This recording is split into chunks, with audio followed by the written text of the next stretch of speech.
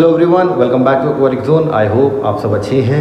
ना अभी रिसेंटली मैंने दो तीन दिन पहले एक वीडियो डाला था ड्रिफ्ट के बारे में। उसमें कुछ इन्फॉर्मेशन और थी जो मैं आपको इंक्लूड नहीं कर पाया उसमें, क्योंकि सारी चीज़ें एक ही वीडियो में अगर बता दो तो बहुत कन्फ्यूज़न भी कन्फ्यूजिंग हो जाता है और आई एम श्योर बहुत लोग वीडियो पूरा देखते भी नहीं हैं तो कुछ पार्ट्स मिस हो जाते हैं। तो मैं नहीं चाहता था ये ये इंपॉर्टेंट पार्ट मिस हो because this is one of the most important thing लोग बहुत परेशान होते हैं।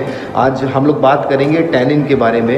अगर आपने अपने एक्वेरियम में ड्रिफ्ट फुड लगाई है तो आपने हमेशा नोटिस किया होगा कि उससे पानी पीला हो जाता है और कुछ लोग उसके उसके लिए वेरियस तरीके यूज़ करते हैं, उसको ख़त्म करने के, उसको हटाने के। तो उसी से रिलेटेड मैं आपको कुछ इन्फॉर्मेशन दूँगा कि टेनिन के एक्चुअली फ़ायदे क्या हैं और उसको अगर आप अपने एक्वेरियम से ना हटाएँ तो क्या क्या बेनिफिट्स होते हैं और अगर हटाना भी चाहें तो क्या तरीके हैं, सही तरीके, क्योंकि कुछ लोग बहुत ही गलत तरीका भी फॉलो करते हैं जो कि बहुत हार्मफुल हो जाता है आपके एक्वेरियम्स वगैरह के लिए। तो आप कभी भी कोई भी प्लांटेड टैंक सेट करते हो, उसमें वुड ज़रूर लगाते हो। जैसे मेरे हर स्केप में एक लकड़ी लगी हुई है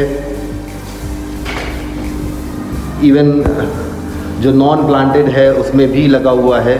तो ड्रिफ्ट से, जैसा कि मैंने पिछले वीडियो में बता चुका हूँ ड्रिफ्ट के बारे में कि एक जान है, उसको देख के, उसको लगा के आप अपना एक्वेस्केप बहुत ही खूबसूरत कर सकते हो, बहुत ज़्यादा अच्छा लगता है, एक नेचुरल लुक आता है आपके एक्वेरियम में। उस वीडियो को अगर आप सभी ने किसी ने ना देखा हो तो प्लीज़ उसको भी चेकआउट करें लिंक मैं डिस्क्रिप्शन में ऐड कर दूँगा। तो सबसे पहले मैं आपको ये बता दूँ कि टेनिन होता क्या है। नाउ कोई भी वुड हो, उसके अंदर एक टेनिक एसिड होता है वुड्स के अंदर होता है नेचुरली होता है। वो आप जब पानी में लगाते हो तो धीरे धीरे वो पानी में रिलीज़ करता है। ये एक शॉर्ट पीरियड ऑफ़ टाइम के लिए होता है, हमेशा नहीं होगा। कुछ महीने कभी कभार एक दो महीने लग जाते हैं, एक नेचुरल प्रोसेस है। तो धीरे धीरे लकड़ी जो है, अपना जो टेनिन है, वो पानी में रिलीज़ करती है। तो उसकी वजह से आपका पानी पीला हो जाता है। जैसे कि मेरा लोटेक आप देखें, काफ़ी पीला है पानी। इधर भी थोड़ा बहुत ब्राउनिश येलोइश टाइप का है पानी, लेकिन मेरे बाकी एक्वेरियम्स में बिल्कुल भी टैनिक नहीं है, इसमें भी नहीं है और मेरा ये एक्वेरियम इसमें नहीं इसमें नहीं। इसका रीज़न यही है कि इनकी तीनों लकड़ियाँ जो हैं, इन सब टैंक्स में मैंने यूज़ करी हैं। वो ऑलरेडी मैंने यूज़ कर चुका हूँ। अपने एक्वेरियम में एक साल से यूज़ कर रहा था। और जो इस एक्वेरियम में मैंने लगाई है, वो नई है। और प्लस ये मेरी डीआईवाई थी। अगर आपने लोटेक का वीडियो ना देखा हो तो उसे भी डिस्क्रिप्शन में मैं अटैच कर दूँगा। प्लीज़ उसको भी चेकआउट करें। आप देखेंगे कितना ईजी सेटअप है। जल्दी इसकी अपडेट भी दूँगा मैं। तो खैर बैक टू द टॉपिक ये जो टेनिन है, ये ज़रूरी नहीं है कि हर वुड से निकले भी। कुछ ही तरह की कुछ वैरायटी की वुड्स होती हैं ड्रिफ्ट जिनसे ये टेनिन रिलीज़ होता है। और अगर आपके एक्वेरियम में टेनिन रिलीज़ हो रहा है, आपका पानी पीला हो रहा है तो उसका एक सिंपल सोल्यूशन है उसको ख़त्म करने का। आप जो वीकली वाटर चेंज कर रहे हैं स्पेशली नया सेटअप है, क्योंकि मोस्टली नए सेटअप में लोग लकड़ी लगाते हैं, या पुराने में भी बाद में अगर ऐड ऐड कर रहे हो तो आप जो नए सेटअप में वीकली दो बार वाटर चेंज करते हो और पुराना सेटअप हो तो वीकली एक बार तो करते ही करते हो, करना चाहिए। तो उसी प्रोसीजर पे रहे और धीरे धीरे टेनिन एक नेचुरल प्रोसेस है धीरे धीरे रिलीज़ होगा और फिर अपने आप रिलीज़ होना बंद हो जाएगा, ठीक है? उसके लिए कोई स्पेशल चीज़ ना यूज़ करें, जैसे लोग ब्लीच यूज़ करते हैं, उसे क्यों ना यूज़ करें, आगे बताऊँगा। उसके लिए प्लीज़ पूरा वीडियो देखें, कोई भी पार्ट मिस ना करें। और एक बात और बताना चाहूँगा, ये पर्सनल प्रेफरेंस पे होता है लोगों के, कुछ लोग नेचुरली इस तरह का सेटअप थोड़ा सा जो येलोइश होता है, या जैसे आप इसमें देखें, ये अचीव करना चाहते हैं, उसके लिए लोग एलमंड लीव्स डालते हैं, या फिर ड्रिप फ्रूट डालते हैं, या फिर लीव्स को बॉईल करते हैं, बहुत से नेचुरल तरीके होते हैं, जिसके लिए लोग अचीव करते हैं। और कुछ लोगों को ये बिल्कुल पसंद नहीं होता है। मैंने देखा है, मेरे पास भी लोगों के बहुत से कमेंट्स आए हैं, उन्होंने बोला कि ड्रिप फ्रूट के ये टैनिन कैसे हटाएँ। तो इसी वजह से मैं चाह रहा था कि मैं इस टॉपिक पे एक वीडियो ज़रूर लाऊं। उसका रीज़न सिर्फ़ यही है कि जैसे आप सबको पता होगा ब्रैकिश वाटर जो होता है, या स्पेशली जो वहाँ की फ़िशेस होती हैं, जो उस पानी में पाई जाती हैं, कि डिस्कस हो गई जो मेरे पास है एंजल फ़िश है, और और भी साउथ अमेरिकन फ़िशेस जैसे कि आप देखें, ये मेरे पास जर्मन रैम्स हैं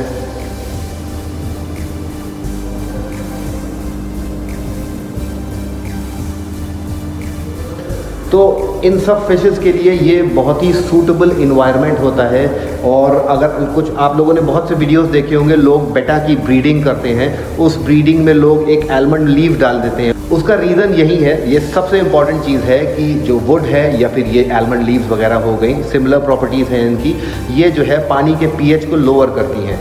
तो पानी का पीएच आपका अगर लोअर होता है तो ये आपके प्लांट्स के लिए भी अच्छा है और अगर आप ब्रीडिंग कर रहे हो तो आपकी फिशेस के लिए भी अच्छा है। ना और भी इसके कई फ़ायदे हैं इस टेनिन के। Apart from lowering the pH मतलब पीएच कम करने के अलावा भी ये इतना बेनिफिशियल है आपकी फ़िश की हेल्थ के लिए in terms of healing them अगर आपकी फ़िश को फॉर एग्ज़ाम्पल बेटा ले लें बेटा की ब्रीडिंग होती है, काफ़ी एग्रेसिव ब्रीडिंग का प्रोसीजर है उनका। और मेल फीमेल फाइट करते हैं मेल मोस्टली फीमेल को डैमेज कर देता है, उसके फिन डैमेज हो जाते हैं। तो उसके लिए भी ये जो टेनिन है, ये बैक्टीरिया ख़त्म करता है, ये जो उनके वूंड्स होते हैं, उनको हील करता है। तो ये एक तरह की बहुत ही फ़ायदे वाली चीज़ है। यही रीज़न है, कुछ लोग अचीव करते हैं, अपना इन्वायरमेंट ऐसा बनाते हैं। तो आप इसको अगर ख़त्म ना करें, थोड़े दिन वेट कर लें, क्योंकि ये ऑटोमेटिकली चला जाता है।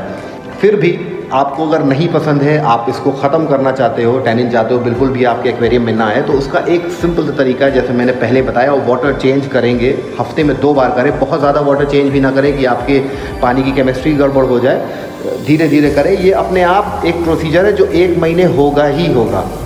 मैंने बहुत से लोगों को सोलूशन देते हुए सुना है कि आप ब्लीच यूज़ करो ये बहुत इफ़ेक्टिव है। आप ब्लीच डालोगे तो ब्लीच से जो है एलगी भी ख़त्म हो जाती है। आपका टेनिन भी जाएगा। वुड में जितने बैक्टीरिया हैं, ख़त्म हो जाएँगे। ये फैक्ट है। लेकिन मैं फिर भी सजेस्ट नहीं करूँगा क्योंकि ब्लीच के अंदर क्लोरीन होता है, ठीक है? थोड़ा बहुत परसेंटेज क्लोरीन की होती है। सेम एजेंट है, उसका काम भी क्लोरीन जैसा ही है। तो ये काफ़ी हेल्पफुल होता है इन सब चीज़ों को ख़त्म करने में। उससे कहीं ज़्यादा हार्मफुल है आपकी फ़िशेस के लिए, आपके प्लांट्स के लिए।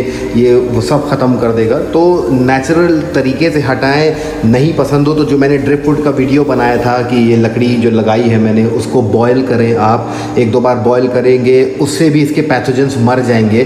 ब्लीच से भी मरेंगे और बॉयल करने से भी मरेंगे। ईजी बॉयल ईजी जो है मेथड बॉयल करने वाला है सेफ़र मेथड है। मेन चीज़ कि सेफ़ मेथड है बॉयल करने वाला। तो जो तरीका मैंने बताया था वुड वाला, वो वीडियो देखिए। उस तरह से आप करेंगे तो आपकी लकड़ी बिल्कुल सेफ़ रहेगी। ना ब्लीच यूज़ करना है, ना कुछ यूज़ करना है। ये यूजली हम लोग क्या करते हैं कि जल्दी से बीज से धोया और उसको एक दो बार पानी से वॉश करके आपने अपने वापस एक्वेरियम में डाल दिया।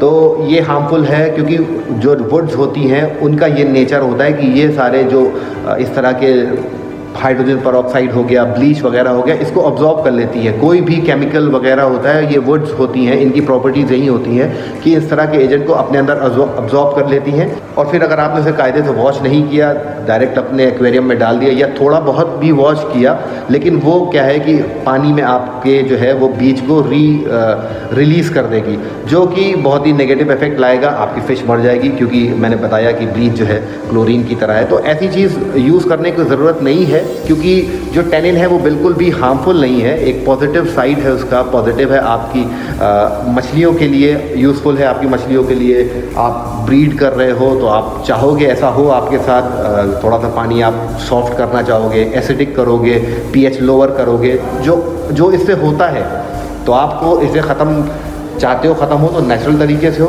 खुद से नहीं करें, क्योंकि ब्लीच इज़ वेरी हार्मफुल आपके पानी में रिलीज़ होगा, आप कभी कभी गलती से हम लोग सही तरीके से साफ़ नहीं करते हैं थोड़ा सा एक दो बार रब कर लिया, वो काफ़ी नहीं होता है। इसीलिए कहा जाता है कि जो एक्सपर्ट होते हैं, उन्हें पता है। वो कुछ दिन 10-15 दिन उस लकड़ी को जो है पानी के बाहर रखेंगे, धूप में सुखा देंगे। अगर आप इस सब चीज़ों के लिए रेडी है तो बिल्कुल यूज़ करिए। ये भी एक तरीका है। लेकिन आमतौर पर लोग करते नहीं है। मैं खुद भी नहीं करता हूँ। इतना वेट नहीं कर पाऊँगा। मुझे अगर सेट करना है तो मैं जल्दी से जल्दी करूँगा। तो और मुझे ज़रूरत भी नहीं है। क्या है? मैं हफ़्ते अब देख लें, मेरा एक्वेरियम ऑलमोस्ट ट्वेंटी डेज़ हो गए हैं और पानी पीला है, लेकिन कोई बात नहीं, मेरे श्रिम्स हैं। श्रिम्प प्रेफर करते हैं लोअर पीएच पानी थोड़ा सा एसिडिक हो, ठीक है? तो अच्छा है बेटा है उसमें। तो इन सब के लिए तो ये अच्छी चीज़ है। तो आई होप आपको वीडियो पसंद आया हो। अगर अच्छा लगा हो तो वीडियो को लाइक ज़रूर करें, चैनल को सब्सक्राइब करें। काफ़ी इंटरेस्टिंग प्रोजेक्ट्स हैं। मेरा मॉन्सर टैंक अंदर आ चुका है। डिस्कस टैंक रेडी है। थोड़ा शफलिंग करूँगा, अभी चेंजेस करूँगा। तो इन सबको देखने के लिए आपको सब्सक्राइब करना पड़ेगा और बेल आइकन को दबाना पड़ेगा। और एक और इंपॉर्टेंट मैसेज है कि अगर वीडियो अच्छा ना लगा हो तो प्लीज़ डिसलाइक तो करेंगे, करते हैं कुछ लोग। लेकिन साथ ही साथ कमेंट भी कर दें कि क्या पसंद नहीं आया है। कुछ गलत इन्फॉर्मेशन लगी हो या कोई और बात पसंद ना आई हो तो बताएँ कि मैं उसको इम्प्रूव कर सकूँ नेक्स्ट टाइम मैं उस चीज़ों का ध्यान रखूँ और मैं कुछ सीख सकूँ बिकॉज़ ये वीडियो इसीलिए बना रहा हूँ कि आप लोगों के कमेंट के ज़रिए मैं भी कुछ सीखूँ और मेरी कुछ नॉलेज आप तक पहुँचे। तो चलिए अगले वीडियो में मिलते हैं। टेक केयर और हैव अ गुड डे